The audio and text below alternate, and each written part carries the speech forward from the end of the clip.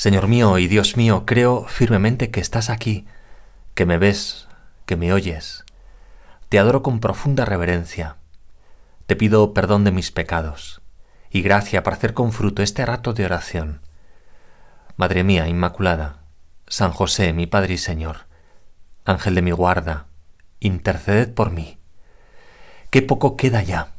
Días para ultimar preparativos, para terminar de decorar la casa, terminar de realizar las compras necesarias, y todo ello porque en los próximos días recibiréis a familiares o amigos en vuestra casa, o porque os desplazaréis a las suyas, días de, de encuentro, de compartir, de recordar, días también para ultimar preparativos en nuestro interior, en tu interior y en mi interior.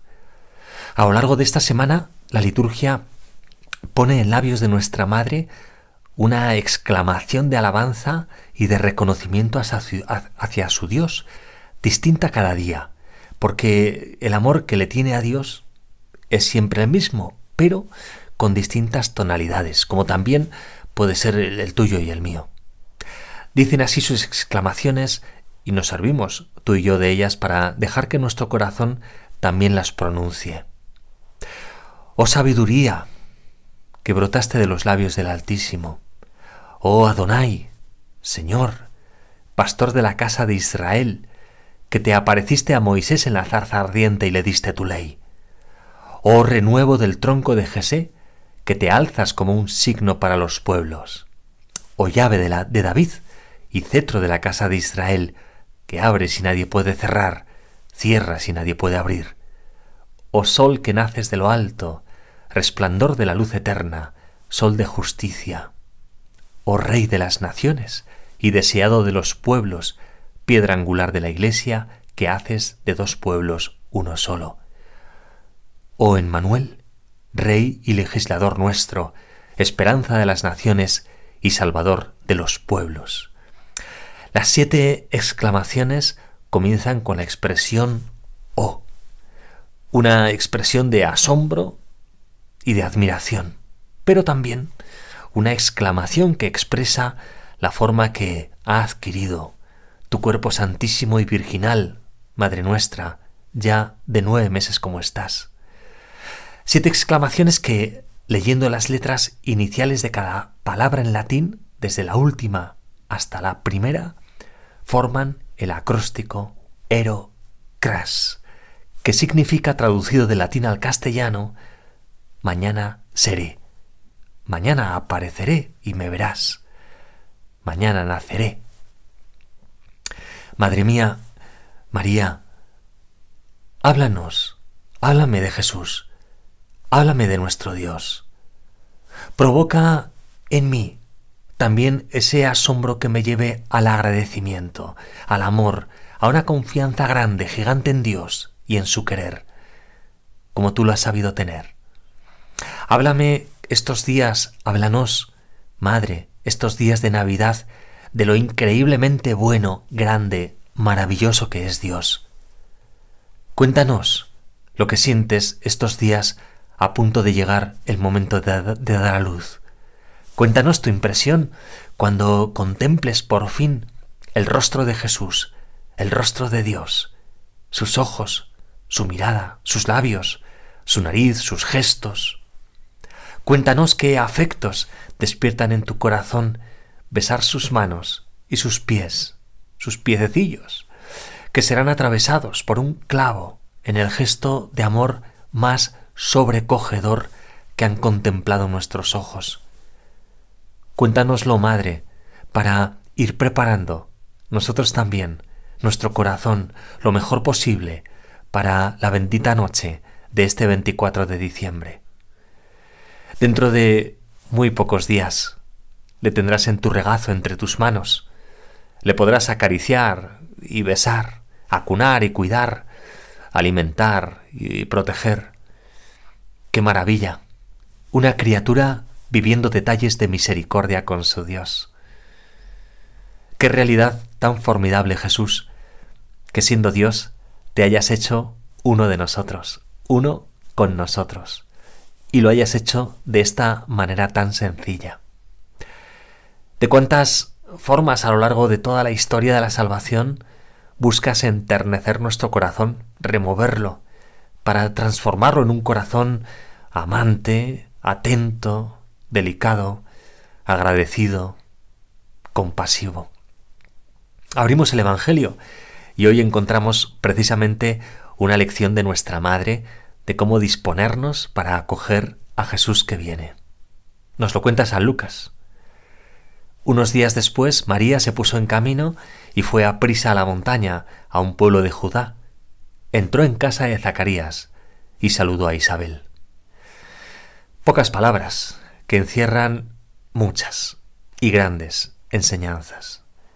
Unos días después, tan impactada como debías estar, madre por la aparición del ángel y sobre todo por el mensaje, sin saber todavía qué significa ser madre, ser la madre de Dios, y sin poder compartirlo con nadie, ni tan siquiera con José. Se puso en camino, fue a prisa a la montaña. Este gesto tuyo, madre, ha llenado el contenido de la pasada Jornada Mundial de la Juventud con el Papa en Lisboa. Dos verbos que manifiestan tu actitud. Te pones en camino, emprendes un viaje, sales de tu casa. Dejas atrás comodidad, ensimismamiento con tu propio embarazo, la atención de tu propia casa. Y el otro verbo, vas a prisa, con un deseo sincero de ayudar, sin importarte lo que allí encontrarás, poniéndote en el lugar de tu prima Isabel. Enséñame a vivir yo también con esta actitud de escucha y de compasión con los demás. Esta actitud de desear llevar con mi cercanía estos días paz y alegría. Desealo tú también. Díselo tú también a nuestra Madre. Nos ayuda a considerar el Papa en la Jornada Mundial de la Juventud en Lisboa.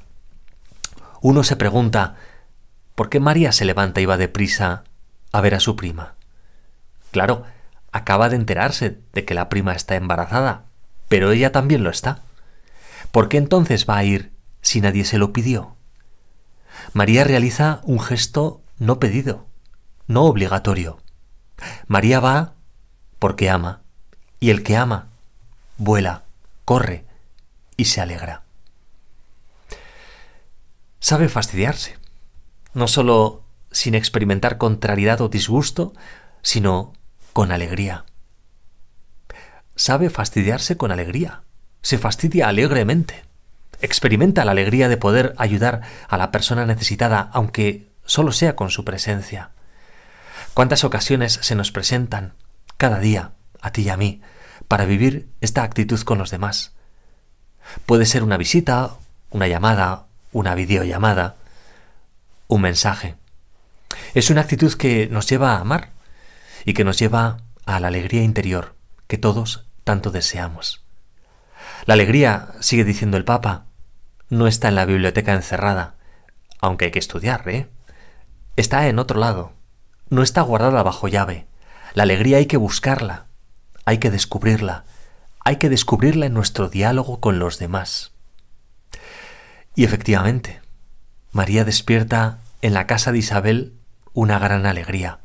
En Isabel, en su marido Zacarías y hasta el niño que Isabel llevaba en su seno, Juan. Así nos lo cuenta San Lucas.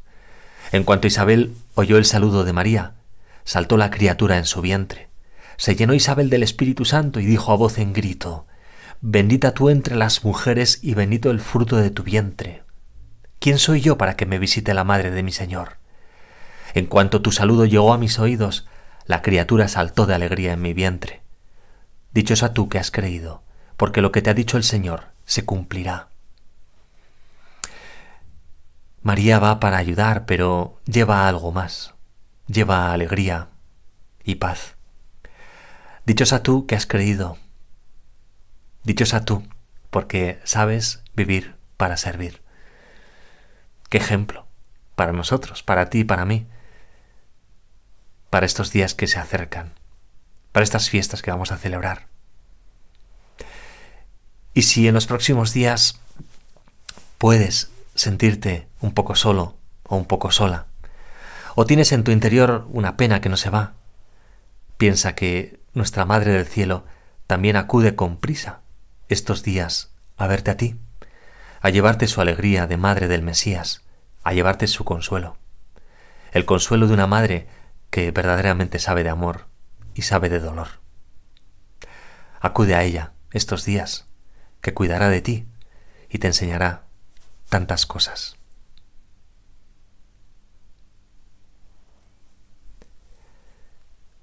Te doy gracias, Dios mío, por los buenos propósitos, afectos e inspiraciones que me has comunicado en estos minutos de oración. Te pido ayuda para ponerlos por obra.